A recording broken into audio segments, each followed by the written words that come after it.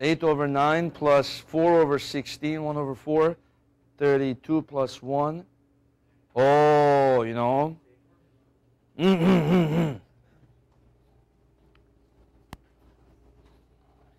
Thirty-two plus nine is forty-one. Yeah, you're right. It must have been that vacation I took. Forty-one. 41 over 4, 10. Right? Like that. So 1.025 times 10 to the 8. And if I want to add, I should add the, the direction of it is what? I hat, right? It's to the right. Is it right now? Is it correct?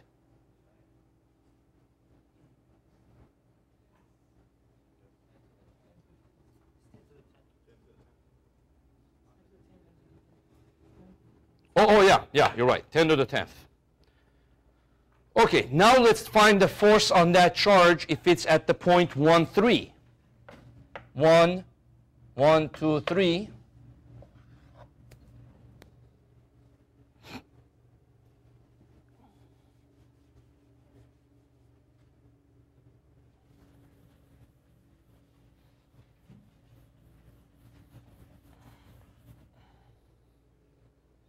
By the way, what would the force be? Let's before we go to that point, let's do this point. What would the force be right here?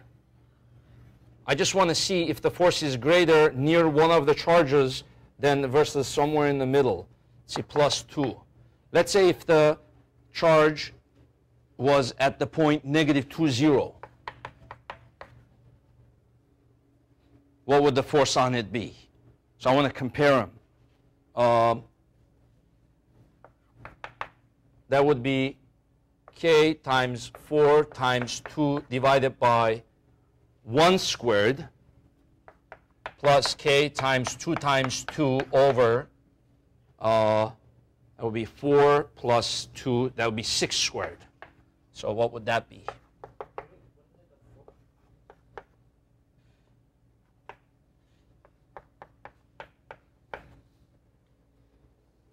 Right? Like that.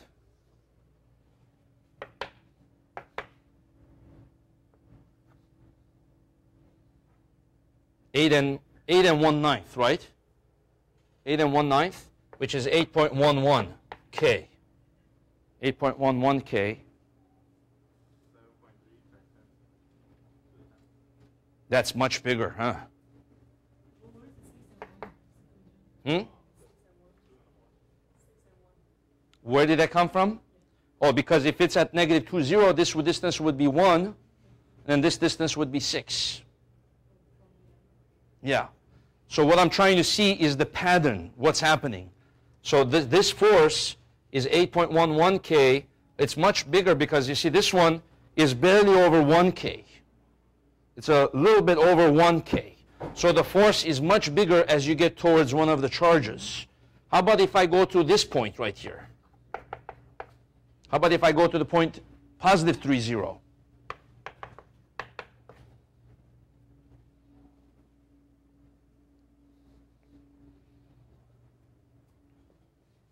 So this is for the force if it's on negative 2, 0. And the force when it's on positive 3, 0 would be k times 4 times 2 over uh, 6 squared again, right? Plus k times 2 times 2 over 1 squared.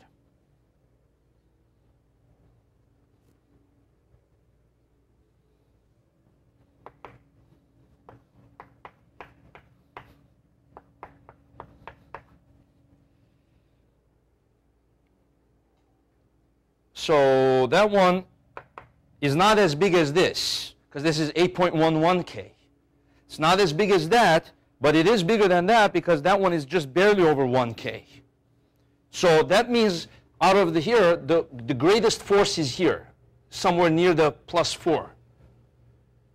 The, the second biggest force is near the vicinity of the 2 coulomb charge. Okay? And then in the middle it gets weaker.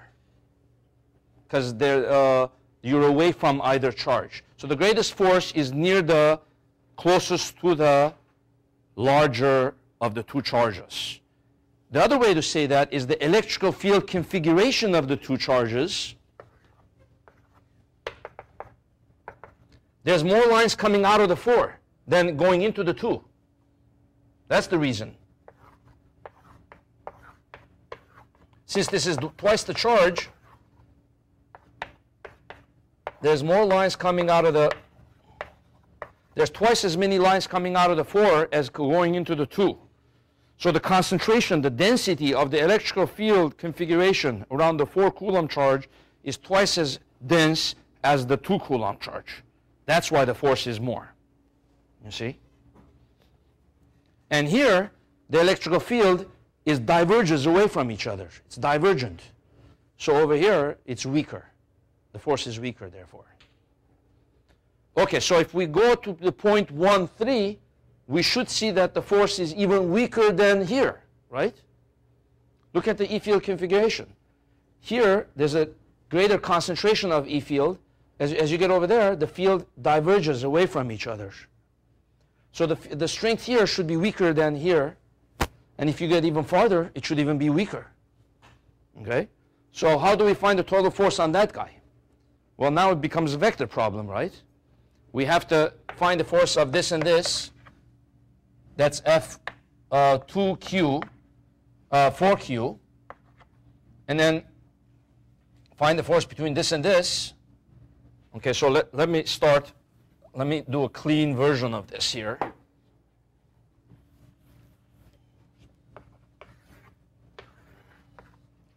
Start fresh from the beginning here. Okay, so this is positive 4Q.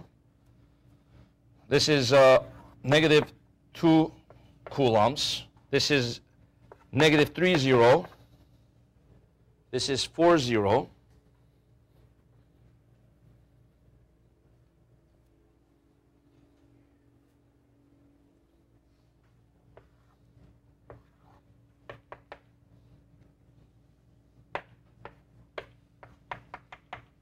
And the point is at 1, 3, right? So, write the force of each one. Draw the force of each one. This guy repels that along the line connecting the two, right? Along the line connecting the two vectors. So that's, we could call that F4, uh, or we could, you know what, we could just call F1 for simple case. And then this guy attracts it, right? So it's in the towards the line connecting the two. It's probably stronger. I, I don't really know if it's stronger here, F2. So what we got to do is we got to break up F1 into its x and y components, break up F2 into its x and y components, and then combine their x components and their y components. So F total x is equal to F1x plus f2x, okay,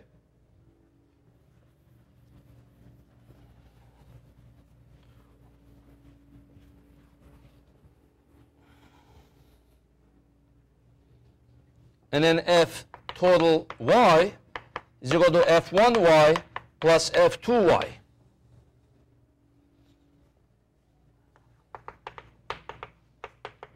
f1x Okay, what we do for this case is we define an angle theta and define an alpha, an angle alpha, just so that we can take the x component of f and the y component of f.